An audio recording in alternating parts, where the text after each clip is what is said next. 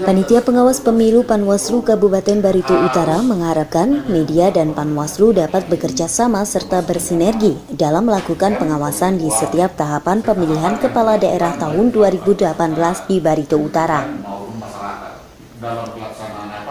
Harapan itu dikemukakan Ketua Panwaslu Kabupaten Barito Utara, Kotin Manik di hadapan puluhan awak media dalam kegiatan media gathering dan buka puasa bersama di kantor Panwaslu setempat Kamis sore.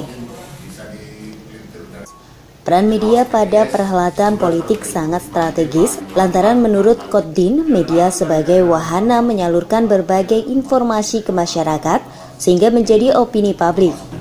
Tentunya, opini publik itu mengandung pendidikan politik bagi masyarakat. Kotdin juga berharap peran media maupun masyarakat lebih dapat menyaring sumber informasi yang benar. Antara Panwaslu Kabupaten Utara dengan media bisa uh, saling bekerja sama dan bersinergi dalam melakukan pengawasan uh, tahapan pemilu kepala daerah, uh, pemilihan kepala daerah dan pemilu 2019. Jadi bisa menyamakan persepsi apalagi adanya yang terakhir-terakhir ini masalah berita hoax dan ujaran kebencian kita harapkan rekan-rekan media bisa menyaring berita-berita yang mana yang patut untuk diekspos dan yang mana yang tidak. Dari TV, tim liputan mengabarkan.